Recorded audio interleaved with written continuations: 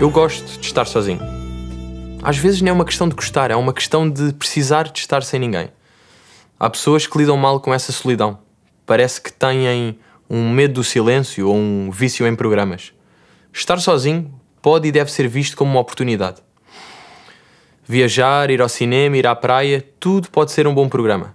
Nesta masterclass vou abordar qual o comportamento ideal a ter quando se vai jantar sozinho.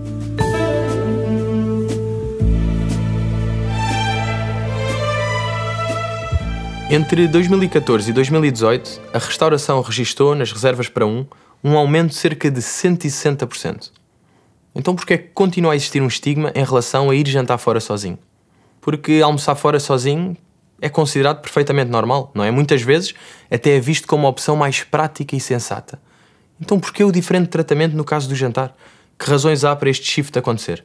Não é? Se almoçamos sozinhos, somos considerados práticos, profissionais, sérios, despachados.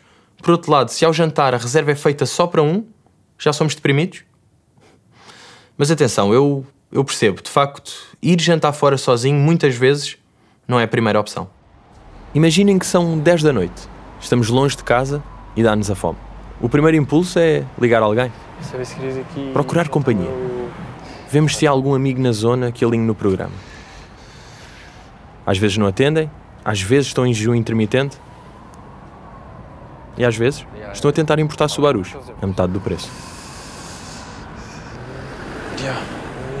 Quando isto acontece, temos a tendência de achar que estamos a ser rejeitados, mas é aqui que a nossa mentalidade deve mudar. Devemos abraçar esta oportunidade. Nós somos melhor companhia do que muitas pessoas. Pensem comigo, sozinhos não vamos ter de falar sobre temas que não nos apetece. Não vamos ter de fingir que dominamos certos temas, ninguém vai provar do nosso prato, ninguém vai ser inconveniente.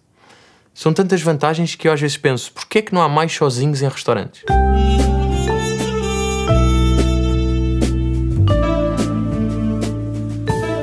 Não é preciso esperar por ninguém, podemos ir uma hora à casa de banho sem nos perguntarem o que é que aconteceu. De facto é impressionante a quantidade de vantagens que existe quando vamos jantar sozinho.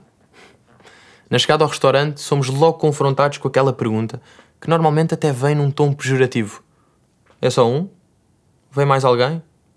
É importante lembrar, a pessoa que nos faz essa pergunta não o faz para nos humilhar. Faz normalmente porque quer mesmo saber se vai buscar uma mesa para dois ou para quatro. Está só a fazer o seu trabalho. E nós devemos responder de forma confiante. Sim, sim, sou só eu.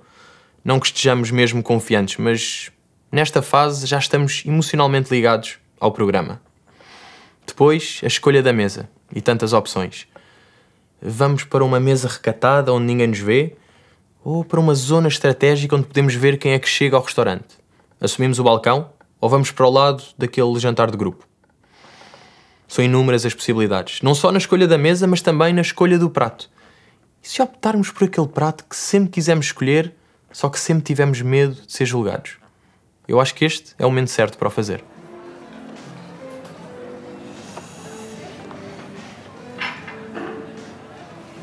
Desculpa, Pode ir aqui, Sérgio. diga, diga. Ah, aqui no. Estava aqui com uma dúvida. Ahm, Ah, nos filetes do robalo?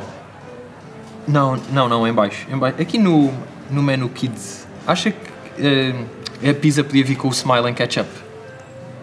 Acha? Ok.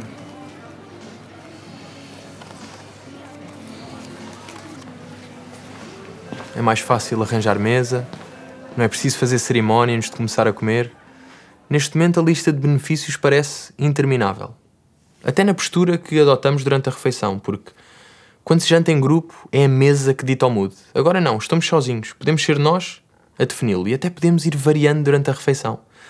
Começamos intelectuais e folheamos o almanac. Passamos a curiosos e ouvimos um podcast. Mais tarde, simplesmente vagueamos pelo Instagram e descobrimos que o Rui Unas é o novo embaixador da Minisom. Ainda não é, mas deixem-no começar a ouvir mal. Eu acho que sinceramente é uma questão de tempo. Há um jogo que eu gosto de fazer e que pode ser uma boa forma de entretenimento. Olhar para uma mesa e tentar perceber que relação é que existe entre aquelas pessoas. Às vezes há jogos bastante fáceis e é um casal ou um grupo de três amigos. Mas às vezes aparecem verdadeiros quebra-cabeças. Quando vemos, por exemplo, uma criança de 5 anos, três velhas, um senhor de 50 anos e um motar? Quem é o pai? Quem é que foi raptado? O que é que se passa aqui? Por vezes, o entretenimento vem ter connosco. Há conversas que se ouvem da mesa ao lado que são uma verdadeira lotaria. Se pronto, então ela ficou chateada, o que é que eu posso fazer? Não posso fazer nada, não é? Porra. E a mulher do João Ferreira, que agora tem OnlyFans, viste isso? A mulher de José Ferreira? Que é Zulmira Ferreira? Estás a gozar, não? Olha. Que ela tem OnlyFans, meu? Não. Isso é mentira, só pode. Puta, estás a dizer, então vi, vi nas notícias do sapo. A minha questão não é essa. É que são 30 pau mesmo. 30 pau. Por 30 pau subscrevias ou não. Percebes? Epá, mas isso também depende do conteúdo.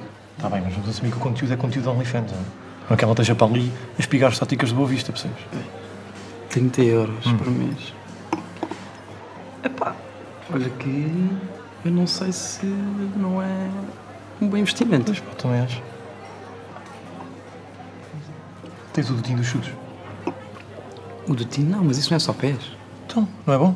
Agora é preciso cuidado. Se queremos ouvir conversas com descrição, basta pormos em prática um ou outro truque que tínhamos aprendido no cinema. Yeah, e esse documento era a carta de alforria, que vem do, do árabe al-forria, que é a liberdade. Je crois en français c'est euh, manumission, frère. Oui, c'est le franchissement de l'esclave. Ah ouais. Yeah, mas imagina, eh, a carta de alforria era o que, antes da abolição, eh, libertava o escravo e todos os seus descendentes. Mas isto estamos a falar, tipo, século XVIII, aí, tipo, tempos de Marquês de Pombal, estás a ver? Só a história. Há mais um ou outro cuidado que devemos ter em conta quando vamos jantar a solo. Por exemplo, corremos o risco de ficar demasiado à vontade e damos por nós a comer o queijo fresco com as mãos. Ou então estarmos distraídos e não percebermos bem o que é que pedimos. Eu não me esqueço do dia em que pedi uma cataplana, não reparei que era a dose familiar e estive durante seis dias a comer na valheira ao pequeno almoço. Uma das coisas que me fui apercebendo quando jantava e almoçava sozinho é que as pessoas têm uma certa tendência de olhar para nós, sozinhos, com um ar de desprezo ou de pena. Não percebo. Eu acho que as pessoas têm inveja. Já viram o luxo que é poder estar uma refeição inteira sem falar? Sem ouvir? Nós até nos podemos dar ao luxo de ficar a olhar para um prato durante 20 minutos sem dizer nada. Imagine o caos que seria fazer isso na presença de outra pessoa. A avalanche de perguntas que seria. O que é que se passa? Está tudo bem? Está estranho? O que é que se passa entre ti e o Sandro? Um dos truques a fazer quando nos apercebemos que estamos um pouco desamparados, sozinhos, não sabemos o que fazer, é observar as pessoas que estão à nossa volta. Será que preferimos estar noutra situação que não a nossa?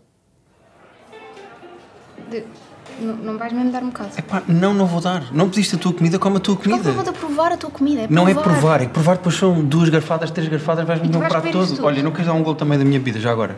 Opa, é, não, não, não dá mesmo para partilhar nada contigo, Epá, realmente. Rita, pelo amor de Deus, isto é a minha comida, eu pedi este tá prato. Está bem, olha, então, Este é o, é o meu prato. Ser feliz com o teu pratinho. Não queres pedir também um bocadinho das outras mesas? Não, já que estás a feliz com o querer. teu pratinho, come tudo. Acabou a conversa. Então vou comer a minha massa. Depois eu disse assim, diz-me só, fora de tangas, qual é o teu dinossauro favorito do Jurassic? E ela manda-me este, ó, T-Rex, meu. Tu já viste? T-Rex, nem é do Jurassic, isso é um erro do filme. O melhor dinossauro do Jurassic, estamos a falar de sempre, Stegosaur, mano, aquele gajo das espinhas, estás a ver? Porque a malta tinha a ideia que aquilo é tipo chifres, só que aquilo não, aquilo estava mesmo ligado à coluna do gajo, ou seja, se estivesse a pegar naquilo, é como se estivesse tipo... a tipo, dedos.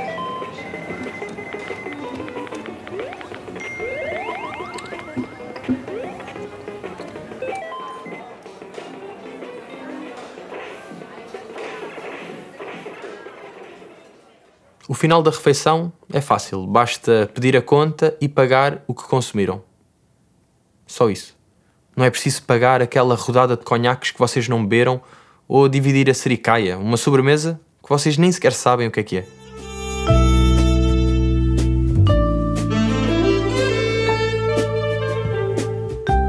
É engraçado. É raro uma pessoa sentir-se desiludida depois de jantar sozinha. Mesmo que os filetes não estejam nada de especial, aquela hora foi só vossa. E já que estão num programa a solo, aproveitem essa oportunidade. Não estou a dizer que jantar acompanhado é pior do que sem ninguém, mas a ideia de ir sozinho comer qualquer coisa já não precisa de ser encarada como um último recurso. Já se pode considerar um programa original, quem sabe terapêutico. E com a possibilidade de um final inesperado.